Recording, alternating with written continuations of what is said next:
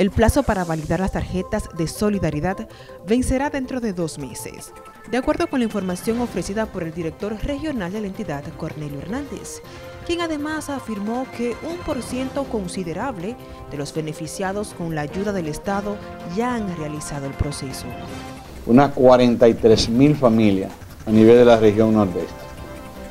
A la fecha tenemos la, la certeza, todavía no, no tenemos el 100% de lo trabajado, pero a la fecha tenemos trabajado unas 35 mil familias, es decir, de 43 mil hemos autentificado los datos de unas 35 mil familias.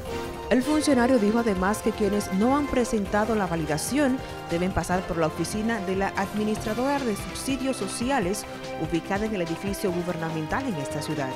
De lo contrario, serán suspendidas definitivamente. Para las familias que no se han presentado, tienen la, la posibilidad todavía de dos meses hábiles para que se presenten eh, con su tarjeta en las manos, con su cédula de identidad, para nosotros quitarle la suspensión y que puedan continuar transando y haciendo uso de su tarjeta solidaridad. Si no aparecen en ese lapso de tiempo, habrán perdido su tarjeta. Giovanni Cordero, NTN, su noticiero regional.